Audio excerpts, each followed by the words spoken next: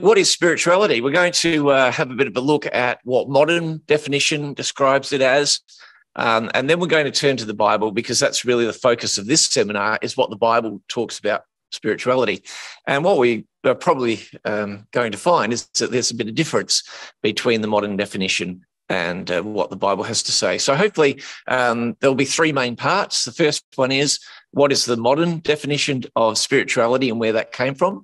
Uh, then uh, the origin of true spirituality, where that came from, and its connection with the Bible, and then finally what that actually means for us. So let's have a bit of a look at what spirituality is. This is actually from the work of uh, Elizabeth Scott. Uh, she's done uh, quite a bit of work in, in this field. Uh, you can actually go to uh, verywellmind.com and actually follow some of her research. She's done a PhD in this. And uh, so it's a, a, bit of a summary from uh, the, the modern understanding of what spirituality is. So basically, the modern definition is that spirituality is the broad concept of a belief in something beyond the self. It strives to answer questions about the meaning of life, how people are connected to each other, truths about the universe, and other mysteries of human experience or existence. Spirituality offers a worldview that suggests there is more to life than just what people experience on a sensory and physical level. Instead, it suggests that there is something greater that connects all beings to each other and to the universe itself. Spirituality is not a single path or belief system. There are many ways to experience spirituality and the benefits of spiritual experience. How you define spirituality will vary. And one of this, uh, one of the key points of this modern definition is it separates between what um, psychologists and uh, philosophers and psychiatrists in particular think spirituality means in comparison to religion and that religion is actually quite separate to spirituality. So, spirituality can be practiced individually, whereas religion often is practiced in community. Spirituality doesn't have to adhere to a specific set of rules, whereas usually religion is based on a specific set of rules and customs. Spirituality often focuses on a personal journey of discovery um, that is meaningful in life. Uh, often in religion, it focuses on the belief in deities or gods, religious texts, and tradition. So that's what the modern definition does. It separates between what it positively sees as spirituality of self compared to the traditional order of religion. Now, I've been an educator for, well, until I retired a few years ago, uh, for over 35 years. And uh, one of my roles as a school leader was actually introducing the wellbeing framework for students. Uh, about 15 years ago, it was introduced in South Australia. And then uh, a lot of those philosophies and things were also integrated in the Australian curriculum. Um, and what's really interesting is that there have been some studies done recently on the impact of those things. So, while education systems in Australia have acknowledged the importance of spirituality for student well-being, According to an ACARA national survey conducted in 2018, the majority of Australian teenagers have little to do with organised religion in their personal lives, while a significant proportion are interested in different ways of being spiritual. Um, the Australian Generation Z study uh, found that the majority of teens in Australia do not identify with religion, while little more than a third believe in God. So the conclusion from the studies, which have been done after around about 15 years of integrating spirituality into education in schools, suggested that Australian, Australian teenagers are more likely to be spiritual, according to the modern definition, than religious. So where did this, this modern idea of spirituality spring from? Well, the words that became translatable in the various languages around the world as our English spirituality uh, began appearing in the fifth century. And they were common in the Middle Ages and were used for living according to the Spirit of God. So that's what spiritual, spirituality uh, meant originally when it first came into the English language. In the 11th century, the word began to denote the mental aspect of life. as opposed to the material and sensual aspects of life. By the 13th century, spirituality acquired this uh, a, a two pronged understanding, a social and a psychological meaning. The social meaning was really the dominion of the church, the domain of the church and the priesthood. Um, whereas the psychological aspect of it was used in the analysis of emotions, motives, and inner dispositions. So you've got this split between what was traditional clergy, if you like, and this way of examining our emotions and thinking. Then in the 17th and 18th century, the word took on a, a negative connotation often. Uh, it often was actually associated with spiritualists communing with the dead and that sort of thing. And it often had a negative connotation. And that continued throughout the 19th and 20th centuries, um, where the notions of spirituality really developed by mixing Christian ideals with Western traditions and elements of Asian, especially Indian religions. Uh, a lot of that sprang through um, art, music, and became embedded popularly, um, often through folk and pop music as well, and became uh, basically socially acceptable uh, as looking at other um, ways of thinking through other countries and their cultures. So spirituality became increasingly disconnected from the traditional religious organizations. Um, and it was okay to be spiritual, though not religious. So today, uh, basically, this comes from the work of Houtman Aupers in 2007. Their research said that it basically associated uh, was associated with philosophical, social, or political movements such as liberalism, feminist theology, and green politics, and has become a humanistic ideal to reach the true self by self disclosure, free expression, and meditation. In other words, spirituality in the modern age has come to mean the worship of self.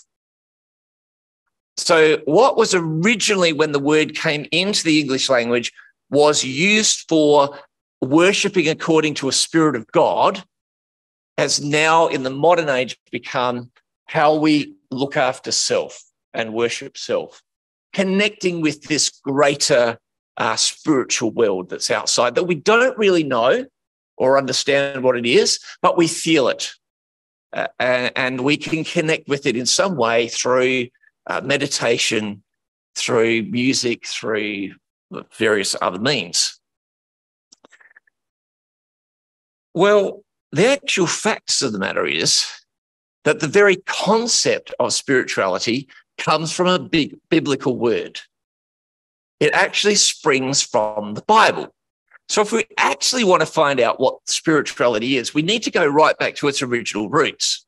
So, the Bible is really the original source of spirituality because the word spirituality comes from our base English word spirit.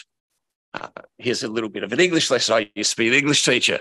So, spirit comes from the Latin word spiritus, which means breath.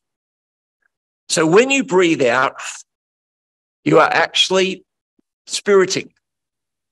Okay, this is the concept. It came via the old uh, French word esprit into the English. And it takes this idea originally from the Greek word pneuma, which means breath. Um, and that word was used in the Septuagint version of the Old Testament and the original Greek of the New Testament. And this Greek word of pneuma actually came from the original Hebrew word ruach, which meant breath or wind, as used in the Old Testament. So the very word spirituality is a Bible word, springing from the original Hebrew ruach, meaning breath, breath of God. So, to come to a correct understanding of spirituality, we actually need to look at what the Bible says about spirit. That makes sense, doesn't it? So, to the law and to the testimony, this is what Isaiah the prophet says. If they speak not according to this word, it's because there's no light in them.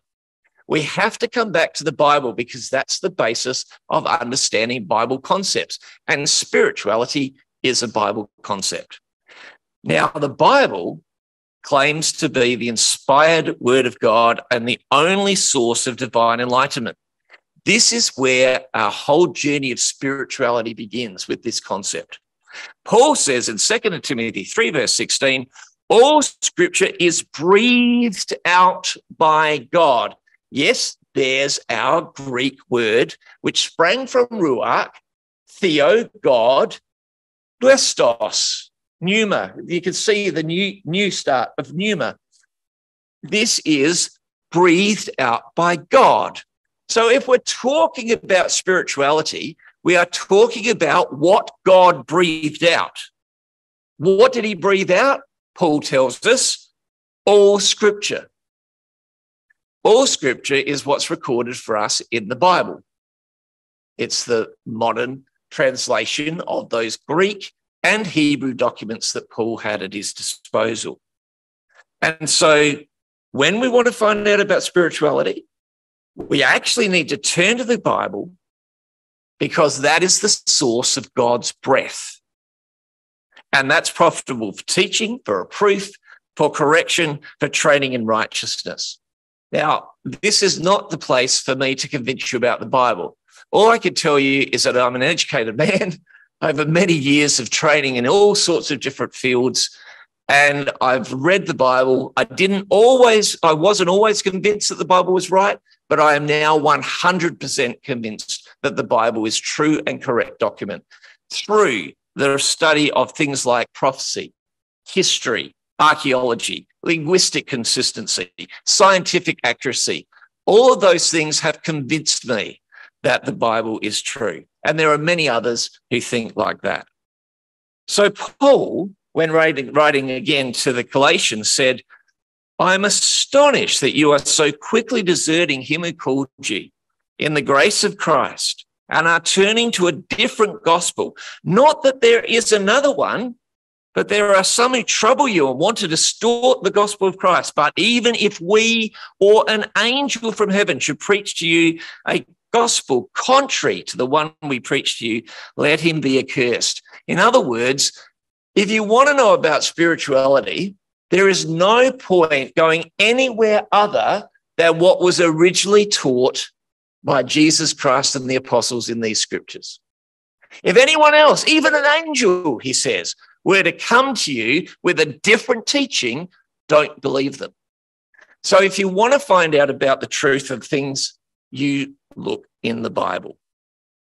Well, what does the Bible say then about where this breath of God, this spirituality, this way of thinking like God springs from? Well, of course, it comes from God Himself. God embedded this search for spiritual things within each and every individual. We are actually born with the desire to find out about the things outside of our own physical and mental experience. God says through the great writer of the Ecclesiastes, he was called the preacher, uh, and he said, Solomon, I have seen the business that God has given to the children of man to be busy with, he has made everything beautiful in its time. Also, he has put eternity into man's heart, yet so that he cannot find out what God has done from the beginning to the end. So, what God did was he put within each individual person who's ever been born the desire to look into the things outside of themselves, the realm of the spiritual, the things that they couldn't see right in front of them. The trouble is, is that God has done things that people can't understand. So, what people often do is they turn to other fields to try to work out what God has placed. But what we've found is that the only place we can find it out from is God because it's his own breath that he's breathed out. So, any efforts to go outside of the field of the Bible is actually not going to help us. It's going to lead us in all sorts of interesting pursuits. And, you know, some of us like botany and some of us like history. And it's all fascinating, but it's actually not going to help us come to grips with what it means to understand the Spirit of God. We have to come back to the Bible. So, right from the very beginning, God created man with the ability to develop his character, to think like him, to reason like him. According to Genesis chapter 1, verse 26, God made humans in his image. the Hebrew word selem, and likeness, the Hebrew word demuth. And so these two aspects are incorporated into what we are. Selem is used of the shape of something. For those of you who know your Bible, it's the word image that was used of Nebuchadnezzar's image that looked like a man. It refers to the shape, the bodily shape that we are made in the likeness of. So we are actually made in the bodily shape of God. Now, demuth is being like someone in character. For example, it's used in Isaiah 40, verse 18, of being like God. So here's the aspect of people having this capacity to develop God's character, to think like Him, to act like Him. So when Paul quotes this verse, this is for those of you who like digging a bit deeper into biblical thinking. He says that man is made in God's image and not likeness, but glory, image and glory. Because Bible students know that God explains that his glory is his character in Exodus chapter 33. So, what we're being told is God made us in his physical shape. God has not a nose, eyes, ears, arms, feet, etc. We look like him. But he also gave us this unique ability to think like him. Now, the trouble is, is that man in the beginning made a big, big muck of things. He was given a law to keep in, in the Garden of Eden, and he broke that law. And as a result, sin came into the world.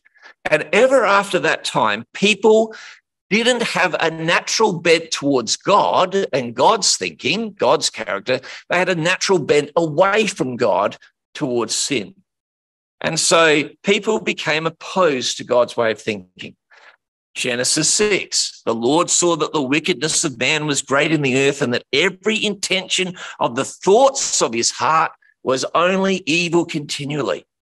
Job says, For affliction does not come from the dust, nor does trouble sprout from the ground, but man is born to trouble as the sparks fly upward. Jeremiah says, The heart is deceitful above all things and desperately sick. Who can understand it? And the Lord Jesus Christ himself says, What comes out of a person is what defiles him. For from within, out of the heart of man, come evil thoughts, sexual immorality, theft, murder, adultery, coveting, wickedness, deceit, sensuality, envy, slander, pride, foolishness. All these evil things come from within and they defile a person. So, what the Bible teaches us is that God originally gave us the ability to think like Him, but tragically, man sinned and ever after, there's been a different way of thinking in his mind. And so these two clash God's thinking, man's thinking. They inevitably clash. The prophet Isaiah, for example, says, Seek the Lord while he might be found, call upon him while he's near. Let the wicked forsake his way and the unrighteous man his thoughts. Let him return to the Lord, that he may have compassion on him and to our God, for he will abundantly pardon. For my thoughts are not your thoughts, neither are your ways my ways, declares the Lord. For as the heavens are higher than the earth, so are my ways higher than your ways, and my thoughts than your thoughts. So God challenges people. He challenges to say, well, naturally now, instead of thinking like God, I think like an animal how to survive, how to reproduce, how to get food. But what God wants us to do is to lift our thinking to be more like Him. So, as we develop God's character and way of thinking, it challenges our responses. It challenges the way, way we react to things. So, Paul says, in the letter to the Romans, for I know that nothing good dwells in me, that is, in my flesh. For I have the desire to do what is right, but not the ability to carry it out.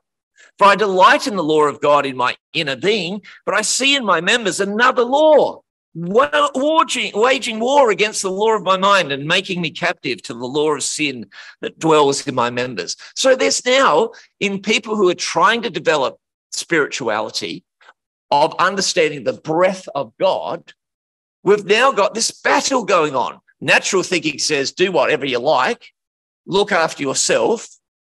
And the other way of thinking says, actually, what does God want? How does He want you to live? We're now getting a grip on what spirituality is actually meaning. It's actually meaning how do we find out what God's breath is and what He intends us to understand? How do we work out what the mind of God is? So there's these two minds, if you like, these two way of thinking. We might call one the natural mind, one the spiritual mind. So in the natural mind, all animals have this way of acting.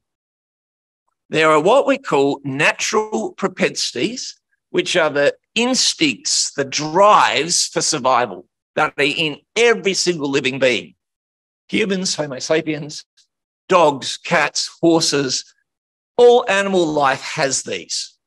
But they also have an intellect which enables you to do the things to survive. So, propensity says, I'm hungry. In the mind of my cat, it says, I'll steal the dog's food and eat it.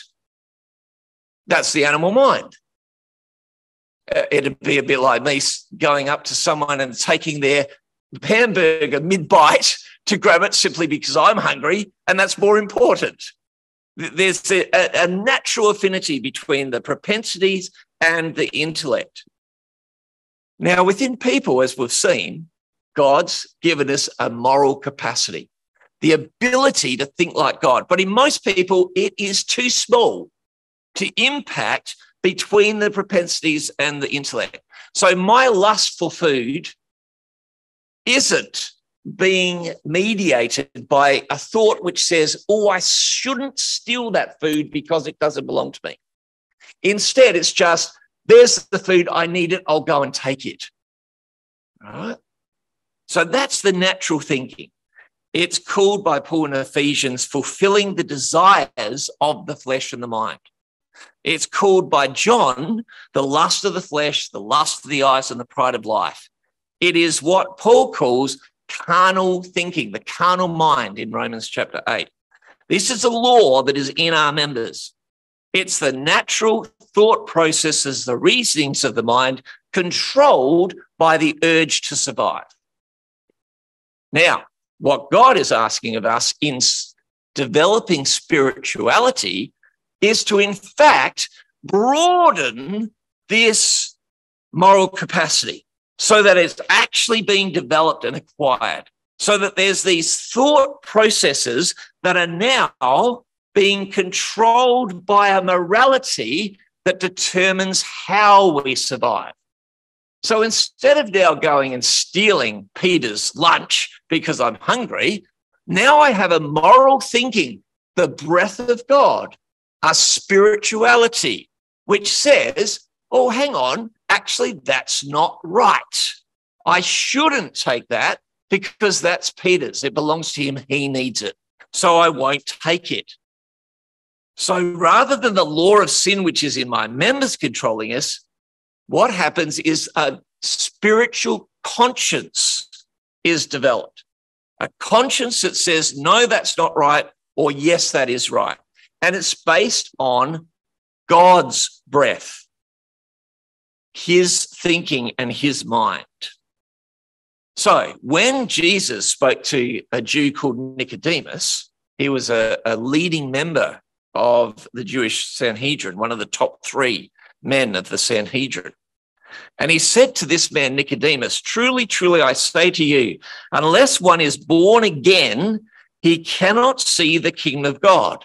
Truly, truly, I say to you, unless one is born of water and the Spirit, he cannot enter the kingdom of God. That which is born of the flesh is flesh, and that which is born of the Spirit is spirit. So you can see he's picked up this idea natural man versus God's thinking. And he's saying, if you're following after natural thinking, you cannot see God's kingdom, the great reward of eternal life that's been promised. the only way that you can have a hope of eternity, of something more than this life than what we have, is by being born of water and the Spirit. And then, not long after that, he talks to another woman, this time not a Jew, a Samaritan woman. And he goes up to a place called Shechem, which was north of Jerusalem, where he spoke to Nicodemus. And he comes up here to a different group of people. And the Samaritans were hated by the Jews. They didn't like them at all. They'd actually uh, come back into the land from all sorts of other countries, brought in by the Assyrian Empire uh, hundreds of years before. And they grew up with a very mixed and strange religion that the Jews did not like. So the Jews would not interact with the Samaritans at all. But Jesus was prepared to talk to this woman. And he says to her, You worship what you do not know. We worship what we know, for salvation is from the Jews. But the hour is coming and is now here when the true worshippers will worship the Father in spirit and truth. That sounds quite familiar to what he'd said to a Jew, Nicodemus. And now he's saying it to a Samaritan woman, a non Jew. It's the same message. If we want to come to understand what spirituality is, we need to understand God in spirit and truth. For the Father is seeking such people to worship him. God is spirit, and those who worship him must worship in spirit and truth. So here we've got a new dimension. We've got something where we can be changed from what we are now to be more like God, not just in thinking, but in something more. This is very interesting, isn't it? So now we've got this concept of spirituality that God has given the ability for man, for us to actually think like Him, we have a natural mind which says, oh, well, who cares about God anyway? Just do whatever it is that you need to do to look after yourself. And we're developing a mind, a conscience, which says, actually, no, I need to be more like God. And God now promises that people who think more like Him are going to receive something particular, something special to enable them to worship Him in spirit and in truth. So, what did Jesus institute, or what was instituted that had to do with water? Well, anyone who knows anything about the Bible knows that when Jesus came to the earth the first time, the first one of the first things he did was he went to see his cousin John, John the Baptist, who was baptizing in the Jordan River. Baptism is where a person goes down under the water and comes back up again as a symbol of dying to the old natural way of thinking and rising to a new way of thinking, thinking like God. So when we're talking about being born again of water, what was actually being taught was that we needed to be baptized like Jesus was. But there was also going to be a birth of spirit. What spirit? God's breath. So, this is a development of the understanding of God's word and the growth in God's word in our life that's going to lead to a great change. So, let's just have a look at what the Bible says about this. It talks about us being born again. Well, you know how things are born. They don't just suddenly turn up at the shopping center, do you? And you don't just pick them up. So, there's a conception where, where a child is conceived in the womb of its mother. And just like that, there is a conception of water of baptism. So Peter talks about how we have been born again. That's what Jesus said, wasn't it? To Nicodemus. You've been born again, not of perishable seed, but of imperishable, through the living and abiding word of God. For all flesh is like grass, and all its glory like the flower of grass. The grass withers and the flower fails, but the word of the Lord remains forever. And this word is the good news that was preached to you. And so, people who came to understand this word, which was preached, God's breath, which was preached to them, they would show that they understood it by being baptized. They would go under the water. They would show that we deserve to die because we're naturally natural people who think about survival and not about God. But that's going to die, and we're going to come out a new person who thinks more like God, who tries to serve God. And this is like a seed that's planted, and this seed begins to grow. Naturally, grass that grows dies, but the word of God doesn't. This is an imperishable seed that grows into something that's going to last eventually forever. And so there's going to be a conception of water through baptism, and there's a conception of spirit through the growth in understanding God's word. So Jesus says, It is the spirit that giveth life. The flesh profiteth nothing. That's exactly the same words that Peter later uses, isn't it? In the context he's talking about baptism. But Jesus is talking about after baptism, we're also having a new way of thinking, being born in our mind, being conceived in our mind. And the words that I've spoken to you are spirit and our life. It's God's words, his breath that have been breathed out. And that is giving new life in our thinking. So we're baptized, become a new creature. We're thinking like God. And this word is creating this new way of thinking. Well, then, of course, uh, uh, within the mother's womb, the, the child gradually develops, doesn't it? And grows, it's nurtured. And so in baptism, Paul says that God, even when we were dead in trespasses, made us alive together with Christ. By grace, you've been saved. So we've been developing through this process of being baptized, where we're no longer dead because we didn't stay under the water. We've actually come out of the water and we are now alive in Christ. We have been born in baptism, as it were. And so in the Spirit, it's the same thing. If we live by the Spirit, by the Spirit, let us also walk. We're now developing in that understanding. And finally, there's the birth. And in baptism, we are born into, into a new situation. We change our relationship with God. Thanks be to God, Paul says in Romans 6, which, by the way, is a chapter all about baptism that you who were once slaves of sin have become obedient from the heart to the standard of teaching to which you were committed, having set, been set free from sin, you, you have become slaves of righteousness. So we're no longer now bound by that natural way of thinking, which says, How do I survive? How do I look after myself?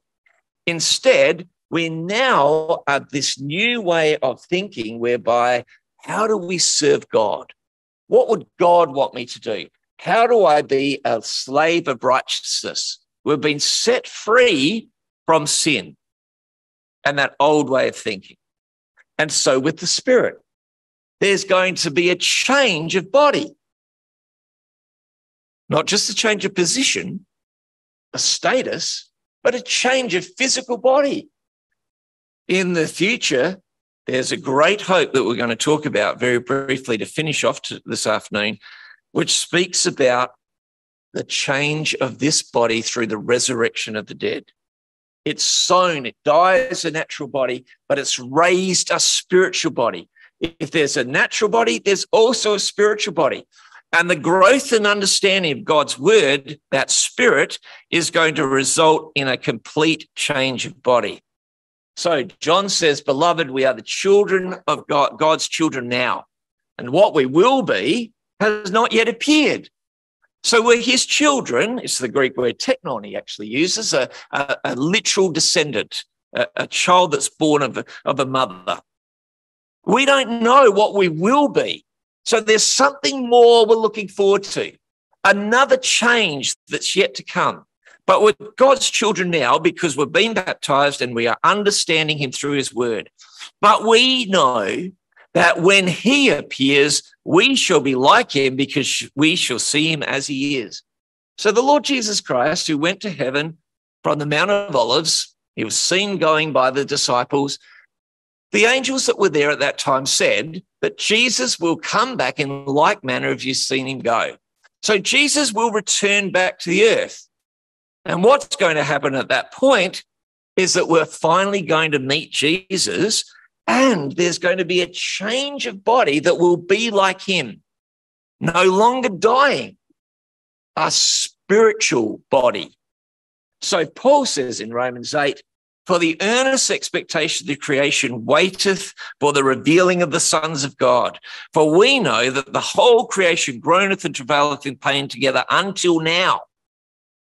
And not only so, but ourselves also, who have the first fruits of the Spirit, even we ourselves groan within ourselves, waiting for our adoption to wit, the redemption of our body. Our body is going to be literally changed no longer a dying mortal body, but a glorious body like Jesus Christ, never to die again. And the word that Paul uses is not the word teknon, the child of a mother, but a son or daughter of God in the character of a father. And so it's the hope of the resurrection that is this great salvation of the Jews. You remember Jesus said to the woman of Samaria, salvation is of the Jews. Why? Because of something very special that had been promised to them. And Paul later on says, well, the Gentiles have come to share in their spiritual blessings. That is the Jews' spiritual blessing. Now, what was that? Well, Jesus teaches what it was. Jesus talks to the Jews of his day and says, That's the resurrection of the dead. You have a hope of even when you die, of being changed to a different body because you've been baptized, you've changed your thinking, you've taken on the Spirit of God, the breath of God, and ultimately you will be changed to have a body that suits that spiritual thinking a body that no longer dies. And so he says to the Jews in his days, those who are considered worthy to attain to that age to the resurrection and from the dead cannot die anymore because they are equal to angels and are sons of God, being the sons of the resurrection. But that the dead are raised, even Moses showed in the passage about the bush, where he calls the Lord the God of Abraham and the God of Isaac and the God of Jacob. Now he is not the God of the dead, but of the living, for all live to him. So Jesus says, All right, you Jews, you Jews were given very special promises. They were promises to your fathers, and the Jews' fathers were Abraham, Isaac, and Jacob. And the promises was a land that they would receive forever. All the Jews knew that Abraham, Isaac, and Jacob were dead. They were dead and buried.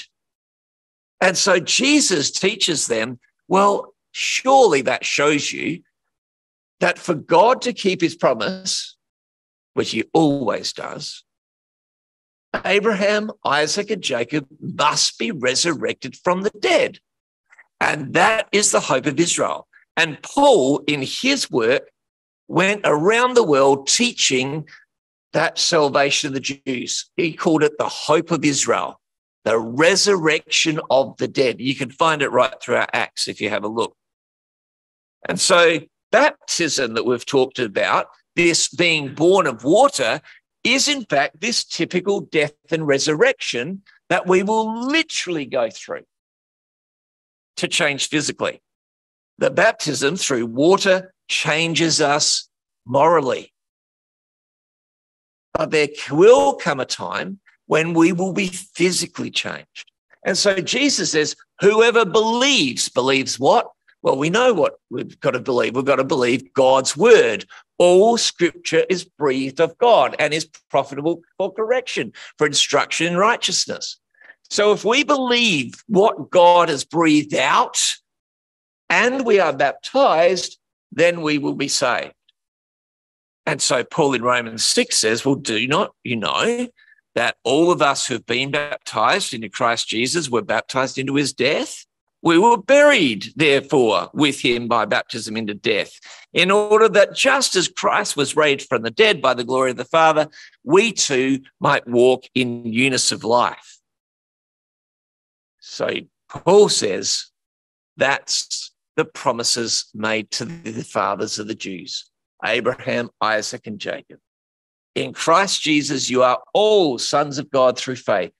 For as many of you as were baptized into Christ have put on Christ. There is neither Jew nor Greek.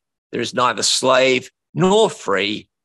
There is neither male and female, for you are all one in Christ Jesus. And if you are Christ, then you are Abraham's offspring, heirs according to the promise.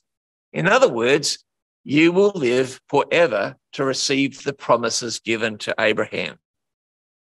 What an incredible thing that is. People try to find out about this spiritual world and they imagine all sorts of things. Some people think of angels, some people think of demons, people have devils, all sorts of things in this spiritual world. Some people just see it as this, this uh, unnamed force in the universe uh, that, that just is guiding things. It might be called fate. But the Bible tells us what spirituality is. True spirituality is the development of godly thinking through reading the Word of God.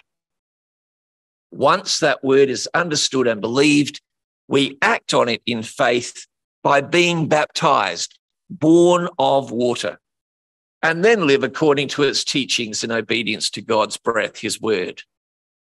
This is worshiping God in spirit and in truth. At the return of Jesus back to the earth, those accounted faithful will share in the promises to Abraham, Isaac, and Jacob, the resurrection from the dead. The faithful will then be changed from this mortal body into a spiritual body like the angels, born of spirit. So you can do all sorts of investigations of modern spirituality, if you like. There's lots of interesting philosophies and reasonings and arguments. But if you actually want to know what spirituality is, turn back to the Bible. Start reading it. It can be a tricky book to read sometimes, especially if you haven't read it before. Talk to someone who has read it a fair bit. Talk to people about it. Share your ideas and find out from them what you think. And come to develop a thinking like God's. Because the more you think like God, the more you'll be like God. And people who are like God, God has said, I want you in my kingdom. And so he that believes and is baptized shall be saved.